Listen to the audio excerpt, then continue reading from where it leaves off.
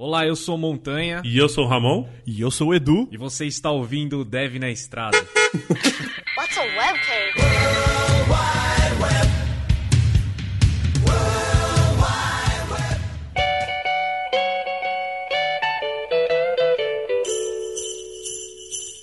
Sejam bem-vindos a mais um Dev na Estrada. Eu sou Montanha e tô aqui com o Ramon. Fala aí, galera.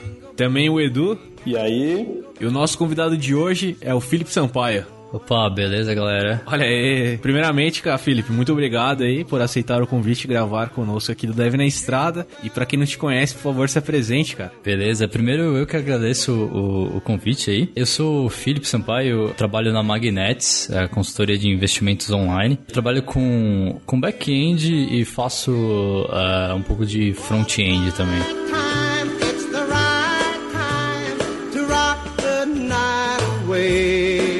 Vamos lá para o muralzinho de Natal, Ramon. Olha aí. Então, é Natal. Tô vendo a Simone já, cara.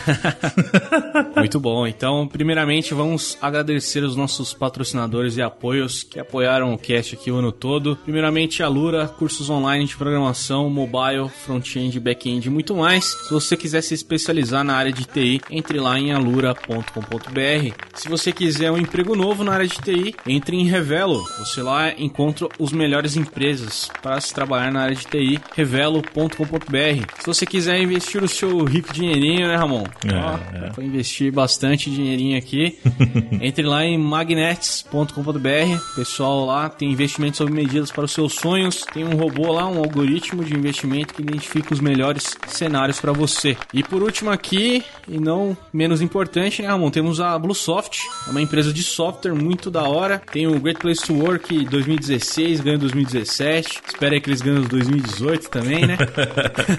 Sensacional. São apaixonados por tecnologia, tá buscando profissionais, né, antenados, assim como você que escuta aqui o Dev na Estrada. Ficou interessado, entre lá em carreiras.blue. Você é o nosso ouvinte maravilhoso, sempre conectado, isso por dentro de tudo que tá rolando, né? É isso aí. é, acho que a gente não pode deixar de agradecer também, cara, os apoios que a gente teve da galera do Apoia-se, todo mundo que ajudou a gente também, cara, sensacional. Muito obrigado, gente. Vocês moram nos nossos corações. Mas, se você também ainda não sabe do que eu estou falando, então você pode entrar lá em apoia-se, apoia.se barra deve na estrada. Você também pode fazer parte dessa, dessa comunidade bonita e gostosa que a gente criou aqui, que a gente tem bastante orgulho e pode também ajudar esse projeto a continuar. Mas também, a gente também tem a conta do PicPay, que é uma rede social de pagamentos. A gente tem nossa conta lá. Você quiser, você pode fazer uma doação lá. É um apoio não recorrente, né? Você pode, se você sentir vontade, você pode mandar uma ajudinha pra gente lá. E agora temos uma novidade também, né? Agora temos até uma carteira de Bitcoin, não é, Montanha? Olha só. Olha aí.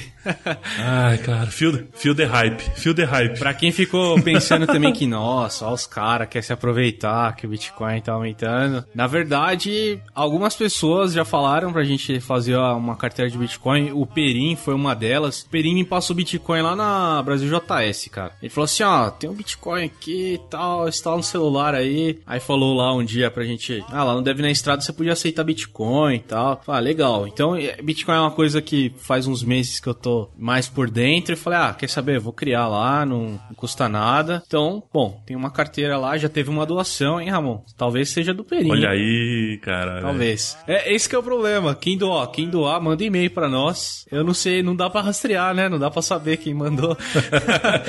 é bem diferente do PicPay, por exemplo. Aliás, PicPay lá, arroba Femontanha, hein? Pra mandar uma doação única lá. E aí no PicPay a gente consegue lá dar um like, né? Comentar lá pra pessoa. Já é bem diferente do Bitcoin. É, exato. E se você quiser mandar um Bitcoin, tá tranquilo também. É, tá. Coisa, tá suave. tá. Bem, tá. A gente aceita tranquilamente. Assim. tranquilamente, ninguém vai reclamar. Não. Bitcoin é só, só um, né? É só um. Inclusive, você mandar um Bitcoin, você não precisa nem mandar e-mail, não precisa fazer nada, tá bem tranquilo também. Bom, outra novidade que a gente fez também, quer fazer para o próximo ano também, é o projeto do Dev Health, né? Vocês devem Quem acompanha o Deve na Estrada aí deve ter visto que entrou ali um episódio no nosso feed. Foi um episódio piloto, né? Um episódio meio descontraído no começo ali. E a ideia é bem essa, assim. Não é para ser uma coisa. Não é para ser um. Nossa, um produto novo do Deve na Estrada. É, é para ser um projeto mesmo para ajudar nós mesmos e ajudar quem, quem ouve o Deve na Estrada que se preocupa ou quer se preocupar um pouco mais com esse lado de, da, da saúde. Então é meio que. É um projeto pra gente tentar se firmar e, e fazer as coisas acontecerem. Eu acredito que vai ser para esse ano, talvez tenha mais um, acredito que vai ser difícil. É. Mas o ano que vem a gente quer vir com mais episódios. A gente não sabe a frequência ainda, a gente não quis fazer isso. A gente quer manter ah, o nosso compromisso que a gente tem com vocês com o Dev na Estrada, que é toda sexta-feira. Nunca falhou, né? Desde o começo a gente sempre teve esse compromisso. Com o Dev Health a gente não quer criar esse compromisso, a gente não quer que seja um, uma coisa ali que a gente vai fazer toda sexta-feira ou toda, sei lá, todo dia, todo, toda semana ou todo mês. A gente pensou, né, numa, numa média mensal ali, mas eu acho que a gente vai deixar meio aberto. É. Vai deixar as coisas acontecerem, mas eu acredito que ano que vem vai ser uma coisa mais. Eu, eu não queria, eu não quero deixar, tipo, um mês, porque talvez eu queira fazer mais de uma vez por mês. Exato. Melhor não, não colocar isso. Não né? tem meta, né? Mas aí quando a gente atingir a meta, a gente dobra a meta, né? Bom, basicamente é isso. Então, de novo, nós queremos agradecer todo mundo, todo mundo que apoia o, o Dev na Estrada, tanto financeiramente, tanto as empresas quanto as pessoas, quanto apoia a gente escutando, né? Vocês, só de vocês serem nossos ouvintes e comentar e mostrar pro coleguinha do lado e compartilhar, interagir com a gente no Twitter, é, tudo isso é, faz do Dev na Estrada ser melhor, faz você apoiar esse projeto aqui. Inclusive, a gente esqueceu de falar, mas a gente tem uma conta no Instagram agora. É. Então entra lá também, ó, insta, arroba Deve na Estrada lá no Instagram. Vai ser bem bacana. Então, assim, entre lá também, interaja com a gente. Isso você já tá ajudando o projeto. A gente sempre fala aqui de patrocínios e apoios no muralzinho, mas. Só de você entrar, compartilhar com a gente, ouvir o nosso cast, mostrar pro amiguinho do lado, né? Compartilhar é, o que a gente faz aqui já é uma ajuda incrível, assim. Então, muito obrigado a todo mundo que ajuda o Dev na Estrada e um Feliz Natal, né, Ramon? Ah, com certeza. Um Feliz Natal. Como o Montanha falou, não tenho muito mais o que falar, eu só quero que todo mundo tenha um Natal maravilhoso nessa data tão bacana e muita Simone pra vocês, que vocês merecem. Boa, vamos lá pro cast. Let it snow, let it snow, let it snow.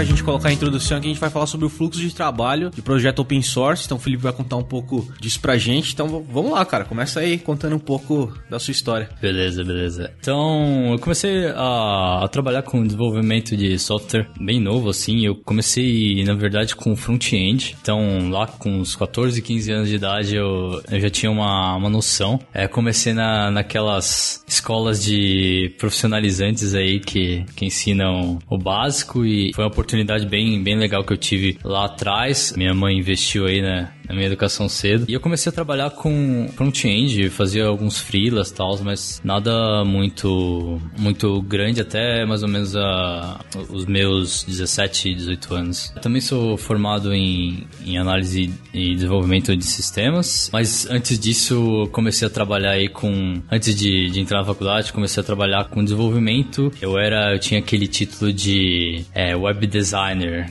na época. Antigamente a gente não chamava de front-end. né? Bons tempos, esse.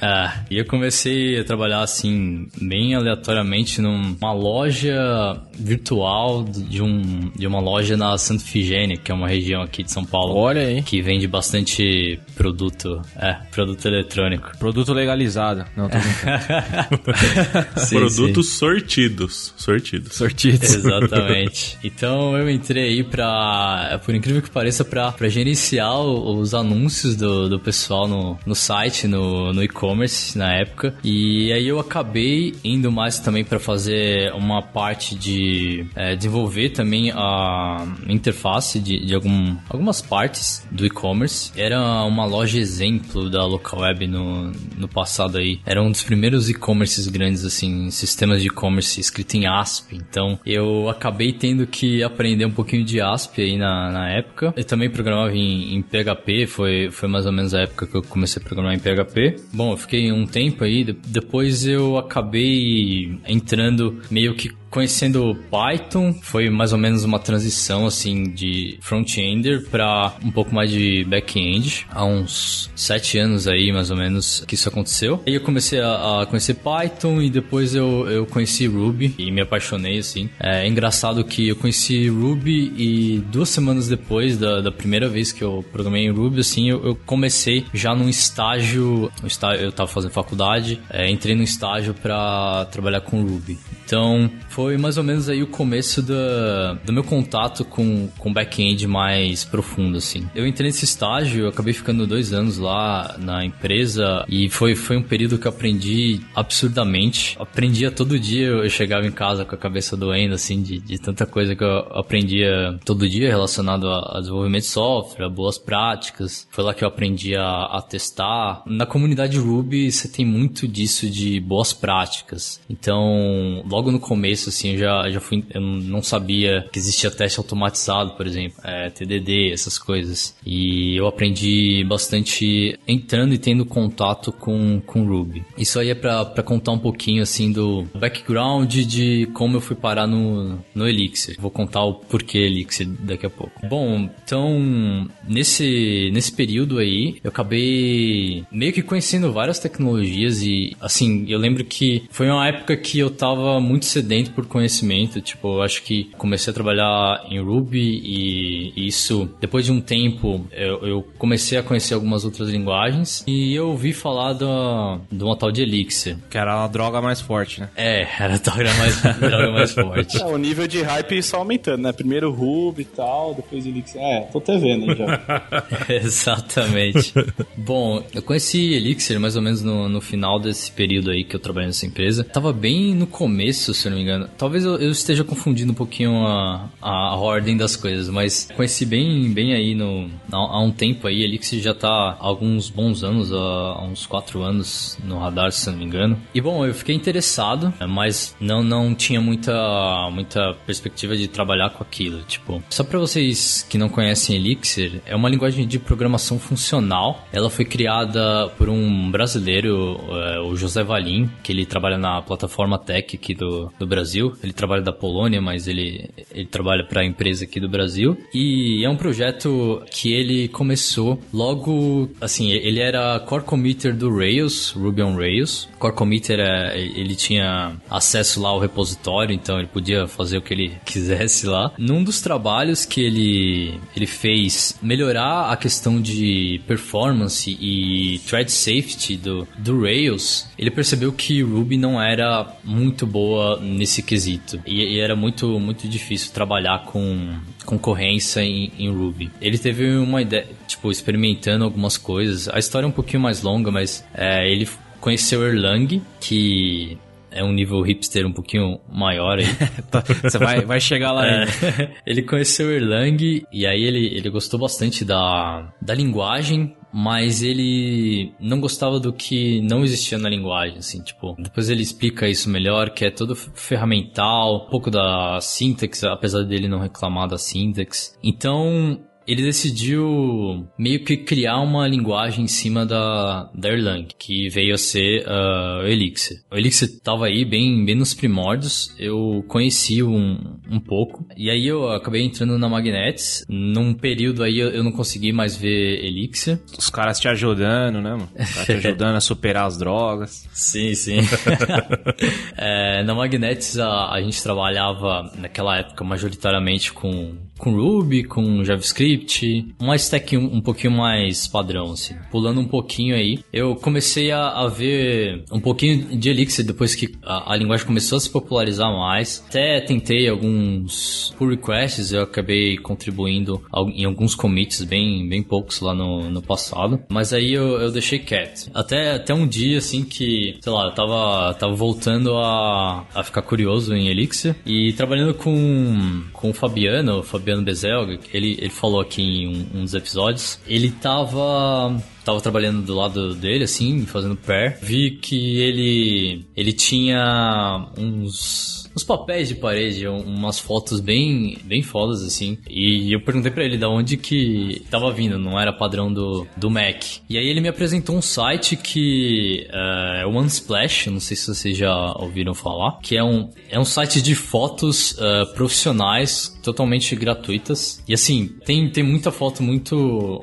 muito legal, assim, muito, bonita mesmo. E aí o Fabiano meio que ele tinha feito uma ferramenta, um scrapper, para baixar todas as fotos do, do Unsplash. Na época era tudo no HTML ali, então dava pra, capturar todos os links ali e baixar todas as fotos. E aí, beleza, como eu tava curioso aí pra começar a trabalhar com Elixir, eu fiquei com vontade de, de fazer algo relacionado ao Elixir, né? É só que, bom, eu não, não manjava muito. Fui pesquisar assim ferramentas, tipo, em Ruby você tem o padrão lá o, o, parser, primeiro, você precisava de alguma ferramenta que, que faça o download da, da, da página, é, basicamente um cliente HTTP simples do, do Ruby funcionava. E para parsear a página, para você pegar todos os links das imagens, você precisava de um parser HTML. No Ruby a gente usa um tal de Nokogiri, uma tal de Nokogiri. É outro nome bem bem hipster aí.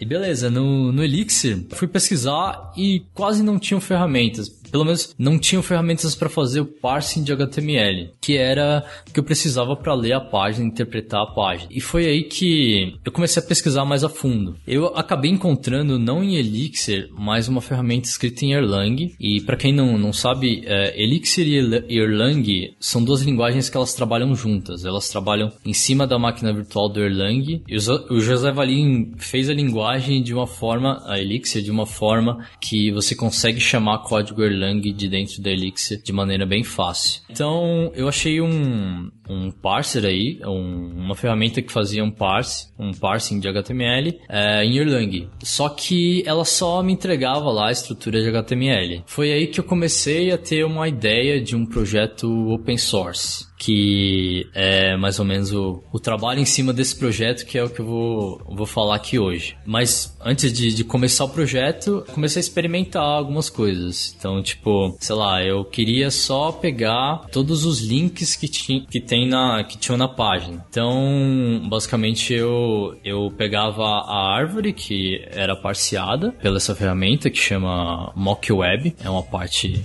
importante aí. Pegava essa ferramenta e fazia um, uma busca em árvore. Não sei se vocês lembram de alguma matéria aí na faculdade Nossa. ou algum outro lugar.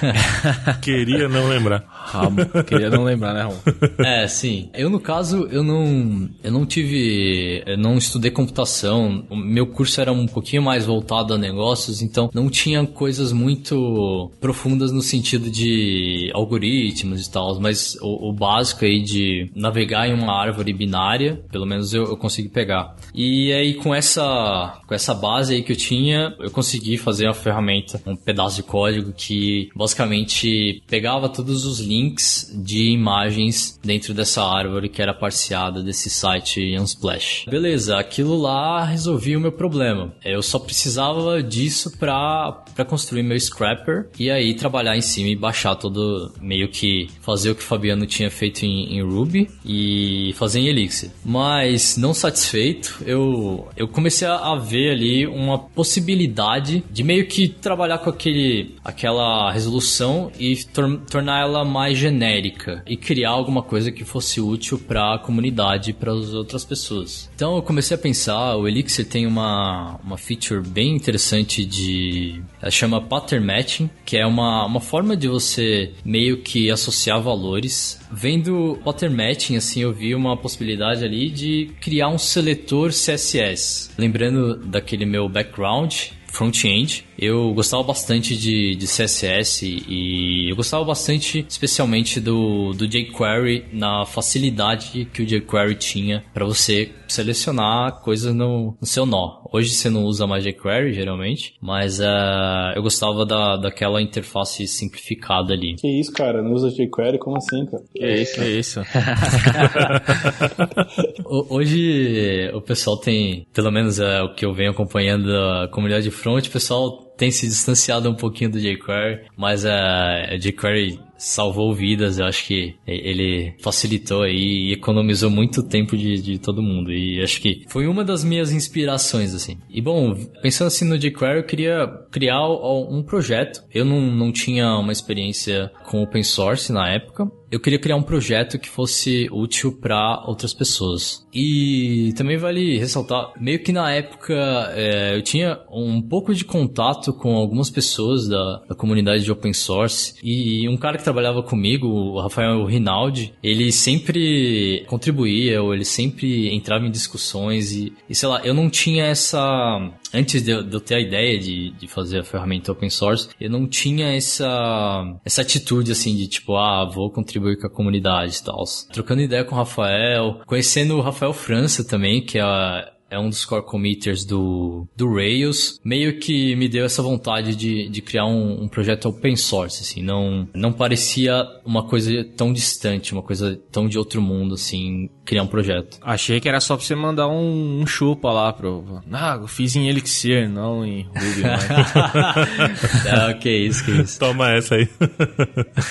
que nada, o, o trabalho do, do pessoal lá em Ruby no Rails é, é tão complexo quanto o de Elixir. Eu tenho a agradecer, assim, a, a, que a gente tem bastante brasileiro que contribui com a comunidade Ruby. Eu acho que eles devem servir, assim, de inspiração pro pessoal de, de Elixir. Eu acho que serve, de, de certa forma, como contribuição e como, como evoluir a comunidade uh, através do, de open source. Mas, enfim, falando, esses caras eram, eram aí as inspirações uh, eh, para mim naquela época e aí eu resolvi, sei lá, abrir o, o código e fazer essa, essa pequena esse pequeno seletor era no início era só um seletor de classe de CSS e era um código tosqueira, era era muito muito tosco. Bom, comecei, comecei o projeto. Abri open source, lá no começo não tinha muita, muito movimento, mas a, as, eu, eu, vi que as pessoas já, já começaram a, a, se interessar, assim, alguns poucos stars ali no, no GitHub. Só que aí eu percebi que a quantidade de... Primeiro que não era muito útil selecionar só por classe, aí eu comecei a adicionar alguns outros seletores, tipo selecionar por ID, é, aí depois tentar selecionar por tipo. Comecei a ver que isso não escalava da, da forma com, com que tava. Meio que eu tive que ir atrás de blog posts na, na comunidade, é, ir atrás de, de conhecimento, tipo ET Bilu, buscando conhecimento. Isso que você falou, cara, de. Ah, eu vi que não era tão, tão bom só fazer por, por classe, né? Eu uhum. fui fazer por ID e tal. Isso foi, foi próprio, as próprias pessoas da comunidade que foram dando feedback para você? Ou foi uma coisa que você pensou e falou, pô, verdade, isso aqui tá. Eu comecei, tá um pouco cru agora, agora eu vou, eu vou melhorar. Foi já um feedback instantâneo da comunidade ou foi partir de você mesmo? No começo partiu de mim mesmo. É, no começo não tinha tanta, tanta utilização ainda. Tipo, tipo, tinham coisas que eram meio que no mesmo nível de complexidade daquilo que eu tinha implementado. Então eu pensei, ah, seria legal ter isso aqui. E depois que eu adicionei essas, sei lá, o seletor de ID, o seletor de, de tipo, que é o seletor de tag, começaram a, a ter algumas outras demandas. Por exemplo, você buscar um, um, um seletor descendant selector, tipo, basicamente você buscar nós descendentes de um, de um determinado nó. Que isso envolve alguns conceitos um pouquinho mais complicados que uh, você vai ler lá na, na spec do, do CSS. Eles chamam de combinators. Então você tem alguns combinators que, que são tipo, basicamente quando você dá um seletor, um espaço. Esse aí é o descendente selector. Você buscar o, o filho, o nó filho, child selector. E aí eu eu meio que conheci essa, esses seletores assim mais tecnicamente, mas eu não fazia ideia, não fazia ideia de como eu podia implementar isso na, na minha ferramenta, no, que eu acabei esquecendo de falar o nome. O nome que eu dei pro projeto foi Flock, então o nome do, do parser é, é Flock, para quem já conhece aí, para quem não conhece, aliás. Um parênteses aí explicando o nome, não tem nada de especial assim. Eu tava assistindo uma série lá, os Vikings. Vikings. Cara, eu ia falar Olha exatamente aí. isso, velho. Eu tava me segurando aqui, cara. exatamente. Bom, e aí eu gostava bastante do, do personagem, que, que é o Flock. Aleatoriamente escolhi esse nome, mas acabou que, que foi um nome bem, bem legal aí pra, pra ferramenta. Muito massa. Assim, antes de você... Acho que a gente tá chegando na parte que você vai explicar como que a comunidade foi ajudando e foi dando esses feedbacks para você. Mas antes de você entrar nesse mérito também, queria que você explicasse um pouco para quem tá ouvindo o que, que é pôr o projeto em open source. Como é que você virou e falou assim, bom, beleza, agora esse projeto é open source. O que, que isso significa? Como é que você, como é que você fez isso? Beleza, beleza, legal. Então, primeira coisa é o, o projeto no GitHub. Basicamente você tem um, um projeto lá e você deixa ele público. Primeiro, eu já desenvolvia com com Git, então foi, foi tranquilo. A primeira coisa foi deixar ele com código aberto. Segunda coisa foi fazer a, a parte do gerenciamento de pacote também. Eu precisava abrir esse pacote no sistema de, de pacotes do Elixir, que é o Hex, e HexPM é o, o site lá que você encontra os pacotes. Então, uma das primeiras coisas que eu fiz foi lançar o pacote lá. No meio do caminho também, eu comecei a fazer a parte de configuração, por exemplo, do CI, que é algo importante. Eu vou explicar um pouquinho mais ali, mas uh, eu coloquei o projeto para rodar toda vez que eu mando um commit, ele roda lá no Travis CI, que é um, um CI bastante usado pela comunidade e ele é, é livre para o projeto open source, né? Então, uma das primeiras coisas que eu fiz foi, foi colocar os testes rodando lá. Importante também que eu desenvolvia com testes para um projeto open source, tipo, projetos experimentais, uh, geralmente você não vai se preocupar tanto com teste. Acho que quando você está experimentando alguma coisa, está provando algum conceito, uh, não é tão necessário, ao meu ver, você adicionar o teste. Mas a partir do momento que aquele projeto ele cresce ou ele se torna open source, por exemplo, você precisa testar. E eu, eu testava, eu meio que tinha mais ou menos a ideia de que eu queria deixar aberto uh, depois e eu comecei a testar desde o começo. Uma das primeiras coisas foi, foi abrir, configurar o CI para que o teste rodasse a cada build. Então, uh, foi mais ou menos esse processo, assim, a partir do momento que eu decidi que seria open source até publicar mesmo. Teve um, um detalhe aí também que uma das ferramentas que eu precisei para desenvolver a Flock, aquele mock web parser que eu falei antes, eu tive também que fazer um trabalho de transformar aquele pacote em um pacote Hex também, que é, é uma coisa possível. O sistema de pacotes do Elixir, ele é ele também funciona com Erlang. Um detalhe também é que não existia sistema de pacote, um, um sistema muito utilizado pela comunidade antes do, do Elixir. Aí com o Elixir veio o Hex Hex, e aí o Hex meio que consolidou essa parte de você publicar pacotes, tanto em Erlang quanto em, em Elixir. Então eu tive também esse trabalho de configurar essa dependência que uh, não era código meu, mas eu tinha que configurar esse pacote como uma dependência também. Então o processo para abrir para open source foi, foi esse. Já é um trampinho aí já, né, cara? Porque é bastante, você já falou muita coisa aí que, pra, é, que eu, eu sempre ouço, às vezes, a galera galera comentar que, cara, começa a contribuir com open source, faz o seu projeto. E, assim, quando você tá numa escala menor, brincando, fazendo uma coisa, beleza, mas quando começa a ficar um pouco mais sério, né? Aí, aí é outro nível, não? Exatamente, exatamente. É, eu, eu tô dando exemplo aqui do. Eu contribuindo com open source através de um, um projeto que eu criei. Contribuir com open source, é claro, é, é bem maior que isso.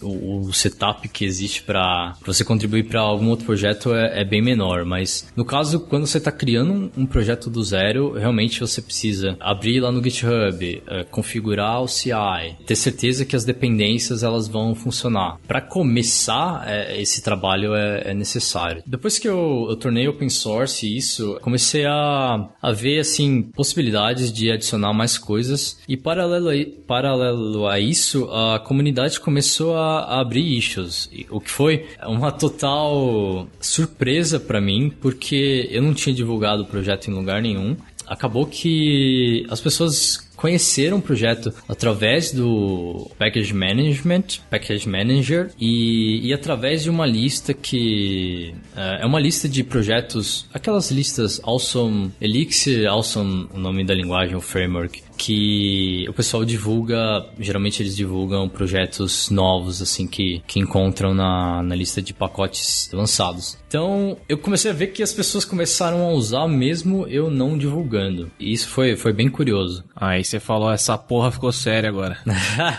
é, essa porra começou a ficar séria. E é bem louco isso, tipo, passa de um projeto sem, sem muito compromisso para um, um patamar um pouquinho maior maior, assim, um pouquinho mais elevado, que você acaba se preocupando mais com que uh, as pessoas vão, vão achar ali do projeto. O que eu precisava fazer, eu já tinha conseguido lá no meu projeto que eu queria baixar todas as imagens no Splash. Mas uh, eu queria que a ferramenta realmente fosse útil para mais pessoas e as pessoas curtissem usar. Somado a isso, eu não sabia quase nada de, de parsing, assim, da, da teoria de parsing. para mim era, é, era mais simples, assim, do tipo, eu não tinha muita, não tive, nunca tive muito trabalho, assim, para fazer parsers, assim, eu, os meus exemplos foram sempre mais simples. E aí eu tive que recorrer à, à literatura e, e à comunidade e foi mais ou menos na época época que um cara chamada, chamado Andrea Le Leopardi, ele escreveu sobre parsing com Elixir. Então, o título do, do blog post dele era Tokenizing and Parsing Elixir with Yek and Lex, que o nome é totalmente estranho, era totalmente estranho para mim. Mas nesse artigo, esse cara, André, ele basicamente ele, ele descrevia como você usava duas ferramentas ferramentas da Erlang e por sinal ferramentas que a linguagem Elixir é usada, é, usa para para ser construída. Aliás, o Valinho usou essas ferramentas para construir a linguagem. E eu não manjava nada disso na época. Esse blog post do, do Andrea meio que deixou. Assim, eu, eu ainda não, não tinha entendido metade, mas já foi uma base para eu construir, para começar a pensar em construir algo mais complexo na, na minha ferramenta. Então, é, meio que esse apoio indireto, porque eu não tinha entrado em contato com ele, mas foi bem a calhar, assim, bem, bem no, no momento que eu precisava. Foi, foi extremamente útil para eu entender como eu faria para adicionar features mais complexas. Então, tipo, um recado aí para quem quem faz blog post, muito obrigado. É, eu não tenho muito hábito de fazer, mas eu admiro muito, porque você pode estar tá ajudando um projeto open source que você não faz ideia, do outro lado do mundo. Escutou, né, Edu? Escutou.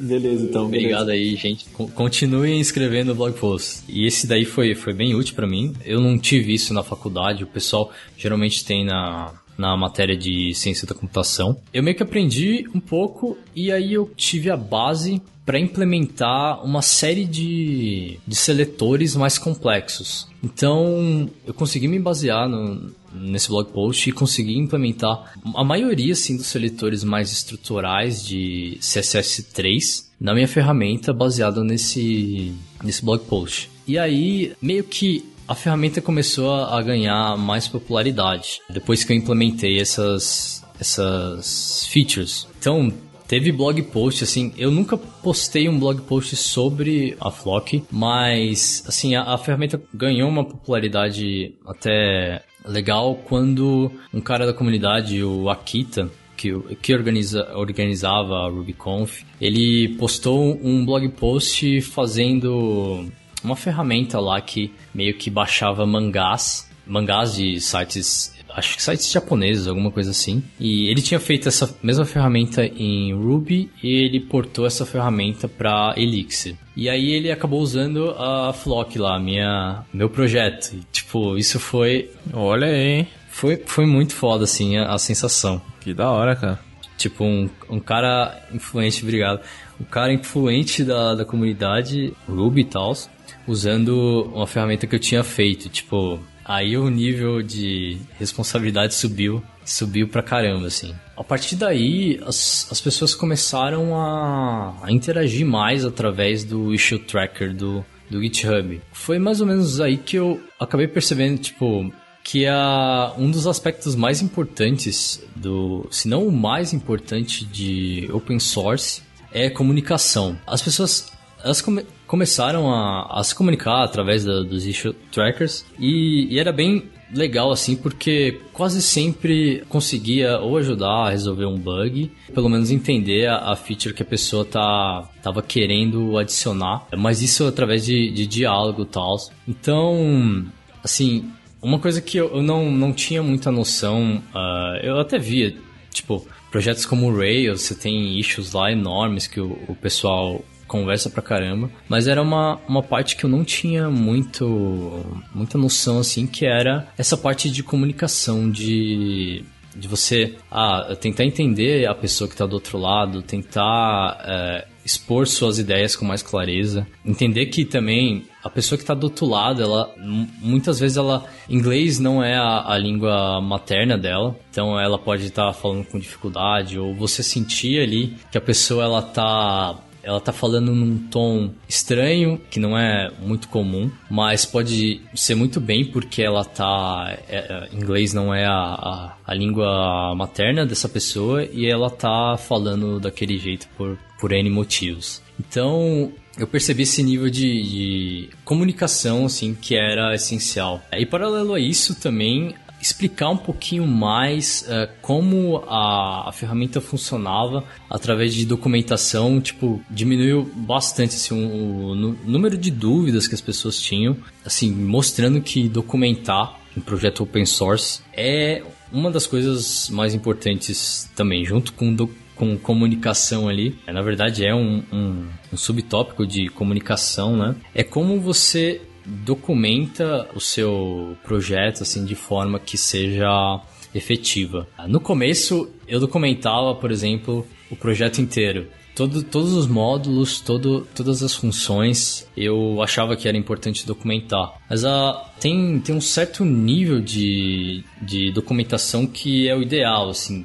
Tipo, não muita, mas também não, uh, não muito pouco. Então eu resolvi, por exemplo, os módulos que não eram APIs públicas. APIs públicas é, são APIs que você meio que está disposto ali a manter. Então, todo, todas as funções que não eram APIs públicas do, da ferramenta, da Flock, eu tirei a documentação, porque Primeiro que tinha um, um, nível de mudança muito mais alto e segundo porque era uma parte privada do código e mais confundia do que é, esclarecia. Então eu, eu resolvi tirar uma parte da documentação mas isso para aumentar a efetividade da, da comunicação através da documentação. É, e segundo, para não manter a, a documentação defasada, a Elixir tem uma ferramenta que chama DocTest. É, é como se você mantesse a sua documentação viva, do tipo, você é como como o Python, não sei se o pessoal conhece Python, mas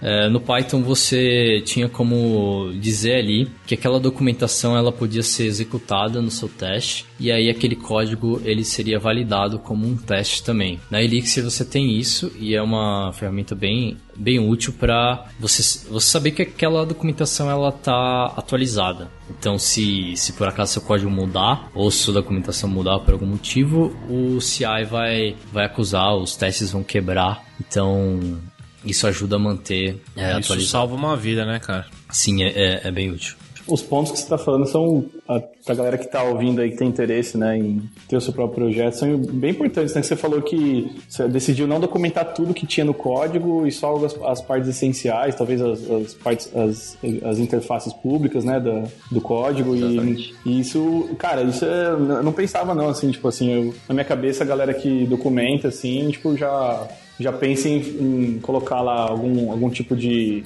de programa para uma lib que faça os comentários irem para uma documentação mais bonitinha, como AirDoc, outras coisas do tipo, né? Você coloca a documentação full lá, né, do de classe mesmo, assim, né? Sim, sim. É, o Elixir tem isso também, a, a EXDoc, que é a ferramenta que gera a documentação a partir do código. Ela deixa a documentação bonitinha lá, tudo. Mas uh, eu resolvi tirar justamente porque a, a documentação pública, ela não precisaria exatamente é, dizer como o código funciona por dentro. Ela é uma documentação para quem está usando a biblioteca. Então, para quem está usando, não, não faz muito sentido saber do, das internals da, da biblioteca. Foi foi por isso que eu resolvi tirar boa parte do, do que eu documentava, uh, assim, num, nível mais de código. Eu substituí essa documentação a nível de código por, uh, primeiro, uma tentativa de deixar o código mais claro, e segundo, adicionando comentários ao código que não necessariamente são gerados pela ferramenta de documentação, mas que o desenvolvedor, quando ele está o desenvolvedor, a pessoa que for olhar aquele código, é, ela vai olhar aquele comentário ali em algum, em alguma parte complexa do código, ela vai entender. As partes mais complexas, eu acho que vale a pena ainda você escrever alguma coisa que sirva como um guia assim para a pessoa entender o que está acontecendo ali. Meio que nesse ponto de, de é, comunicação, é, uma coisa que eu sempre tentei deixar que lá a, a ferramenta, a Flock, ela tem bastante teste, assim. Na verdade, não que tem bastante teste, mas os testes são um pouquinho longos, porque geralmente você tem que ter um, um HTML uh, eh, e aí tem um seletor e aí geralmente essas árvores que são geradas pela busca nessa árvore HTML elas são um pouquinho grandes então, eu sempre tentei refatorar e melhorar a qualidade dos meus testes. Primeiro, reduzindo o teste duplicado, é teste que eu tô, tô testando duas camadas ali. E segundo, melhorando também os testes que já, já existentes. Sei lá, melhorando o syntax, deixando um pouquinho mais claro uh, a intenção daquele teste. Formatando, agora com, com Elixir 1.6 você consegue formatar o seu código automaticamente. Também, mais uma vez, é, é uma, uma da, das vertentes assim de comunicação que eu acho importantíssima. E eu já tinha falado também de deixar essa documentação é, essa documentação não, esses testes rodando no CI. Então, para todo mundo saber quando o seu código tá ou não funcionando. Meio que a saúde do seu código ali rodando diariamente, Geralmente não necessariamente, mas toda vez que alguém abre um PR e merger alguma coisa, ou abre um, um, um PR, o seu CI ele vai rodar e vai dizer para aquela pessoa o que que tá pegando ali, se, se aquele teste falhou ou não, se, se os testes que a pessoa implementou passaram ou não. Bom, um pouquinho sobre pull requests, já que eu levantei a, a bola. Eu considero pull requests uh, uma das partes assim que ajudam a entender o, o progresso do código e como uh, o seu projeto ele ele está evoluindo. Make play on aí, mas toda vez que, que eu tento ou, que eu eu vou adicionar alguma feature no, no projeto, eu sempre abro essa feature em um pull request. Eu nunca comito direto no master, a não ser que seja algo pequeno, mas no intuito de melhorar a comunicação e para todo mundo que está lendo ali o código entender o que está acontecendo, eu sempre achei importante abrir um pull request com aquela alteração que eu estou fazendo. Então, todas as pessoas que, sei lá, têm uma dúvida em alguma aspecto de como foi implementado, é, eu posso pegar o link do, do pull request e passar para essa pessoa e ela entender um pouquinho mais como que aquilo foi implementado e qual que era a intenção na, na época. A pessoa também ela vai poder ver pontos que, que outras pessoas comentaram no pull request, sei lá, problemas ou, ou todo o fluxo daquela feature que foi adicionada. Até para ter um, sempre abro um contexto, né, na, na, na discussão, né, numa futura discussão, né, que alguém venha levantar,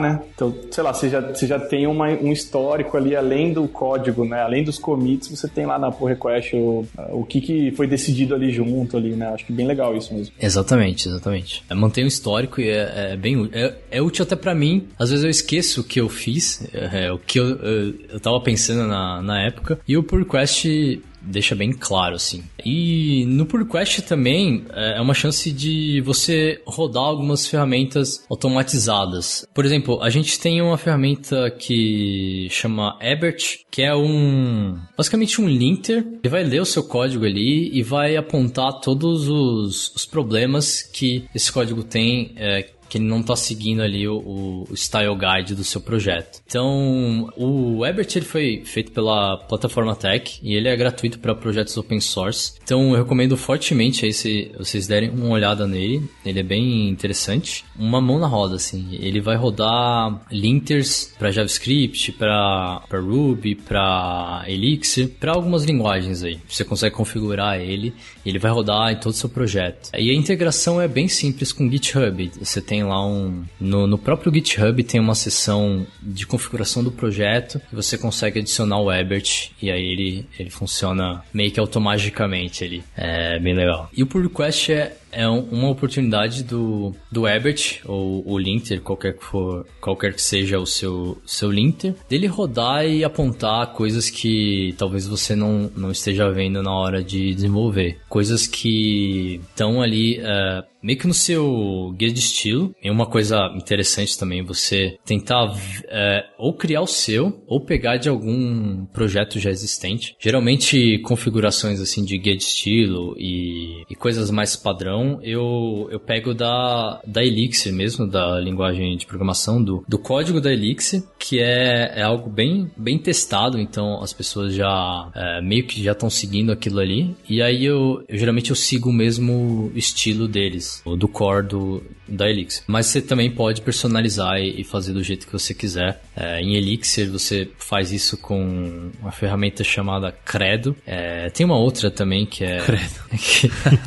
Tem, tem uma outra chamada Dogma. Enfim, são os, são nomes bem interessantes para linters. Elixir e suas magias, né, cara? Tudo relacionado a poção, não sei o que. Exatamente. Que são ferramentas que, bom, você vai configurar no seu projeto, aí você vai comitar a configuração do linter, e aí o, o Ebert vai ler isso, vai rodar lá o credo ou dogma, e vai apontar no seu pull request é, quais são as falhas que, que você deixou passar. Economiza bastante tempo, assim, de um review. Então, tanto os meus pull requests quanto os pull requests que outras pessoas abrem, sempre roda o linter e aí é, é uma oportunidade da pessoa corrigir e, e já mandar sem eu ter que é, perder muito tempo olhando isso. Cara, assim, é, eu tenho uma pergunta. A gente tá falando aqui, putz, de pull request, de CI, de várias coisas bacanas, né, dos projetos open source, para ajudar a gente tanto no contexto quanto nos guias do projeto e tal, mas eu acho que fica uma pergunta mais assim, é, é, como que a gente faria para é,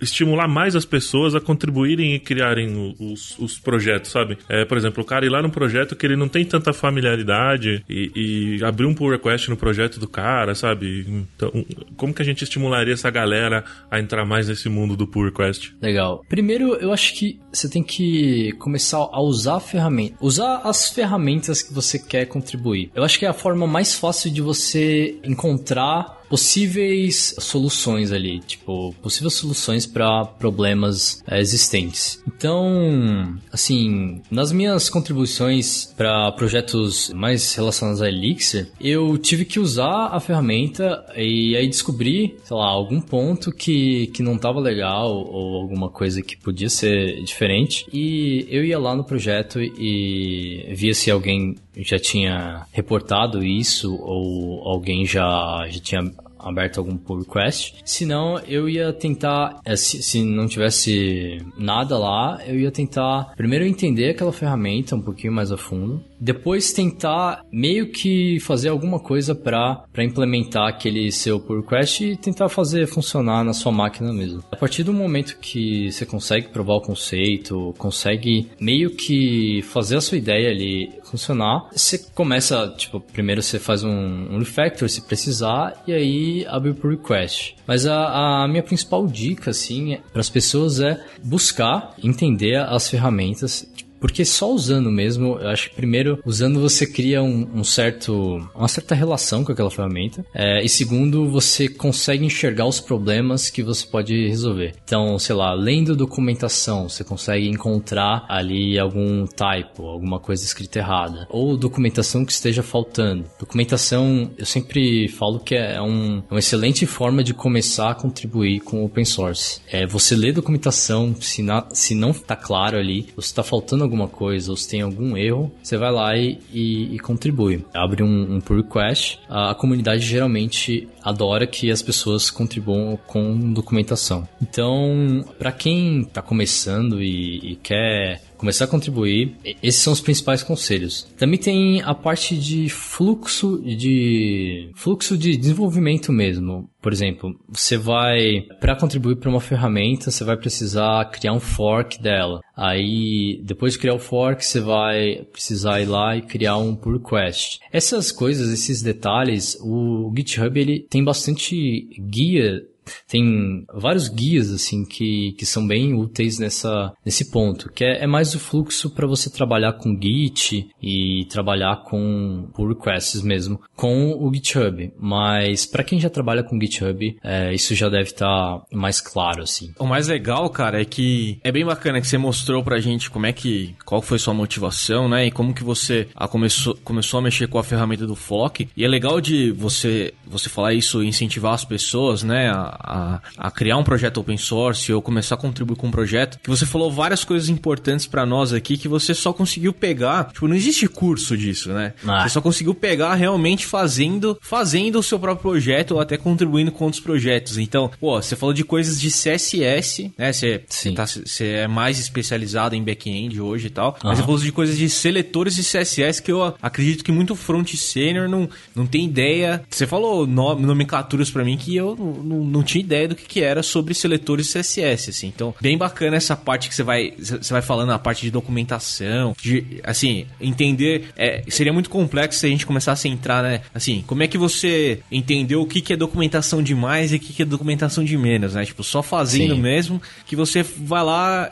Não tem curso disso, né? Isso, isso que é o bacana, cara. E, e a parte que você falou também que eu achei essencial, assim, foi a parte da comunicação. Que isso, com certeza, não deve ter ajudado só nos seus projetos, só nesse seu projeto open source, né? Ou outros projetos que você tenha, em qualquer projeto que você faz na sua vida, né? Sua própria empresa, ou em qualquer outro lugar que você vai passar, ou qualquer outro trabalho que você vai fazer. Acho que essa é a, a parte que você mais ganhou aí, é você, né, entender essa comunicação, entender essa parte da. de, de, de você saber, dessa parte de empatia, né? De você saber ali como é que o cara tá se expressando, o que, que ele quis dizer, o que, que você quis dizer também, né? Você tem se expressado da melhor maneira possível. Isso é é, eu acho que é o mais é o mais é o mais valioso, né, que você conseguiu extrair de, de todo esse aprendizado, né? Sim, sim, com certeza. Foi algo que realmente não tem assim um, um, curso, algo formal que, que faça você passar por isso. Foi um processo de, de aprendizagem. O projeto já tem três anos, é, fez três anos agora em, em novembro. Nesses três anos eu tenho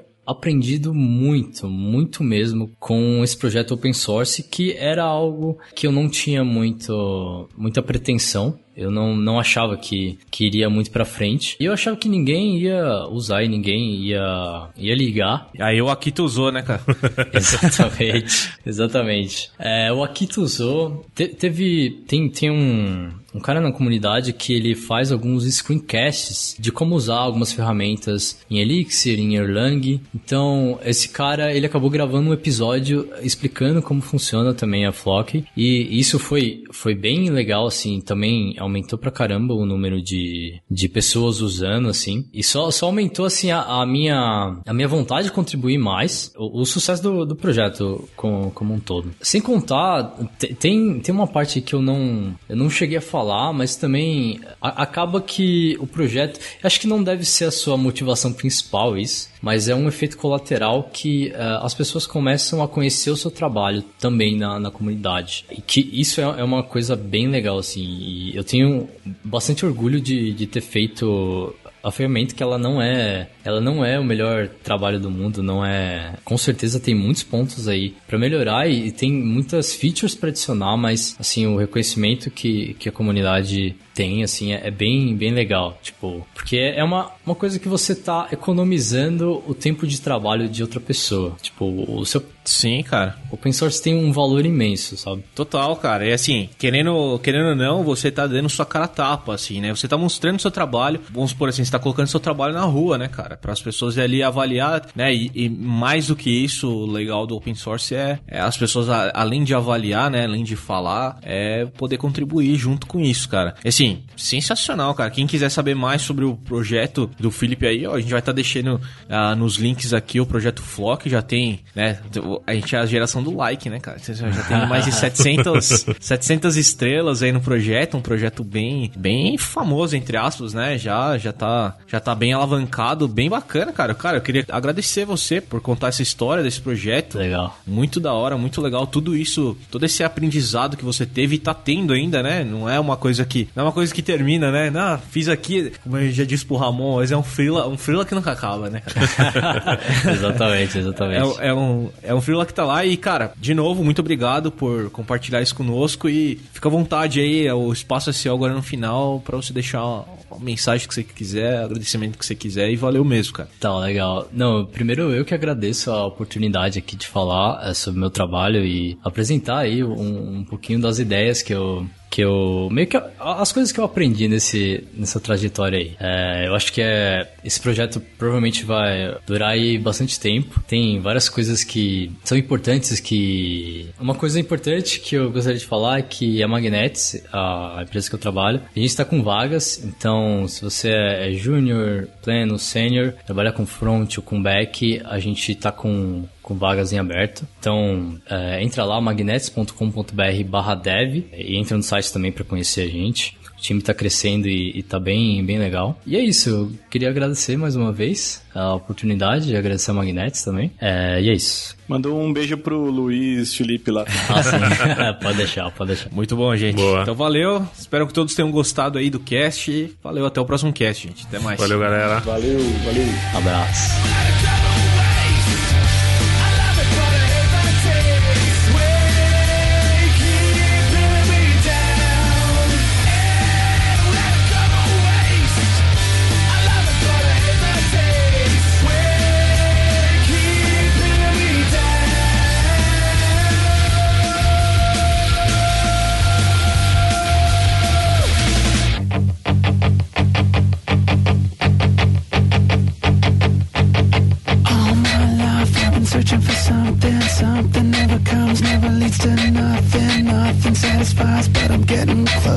Closer to the prize at the end of the rope.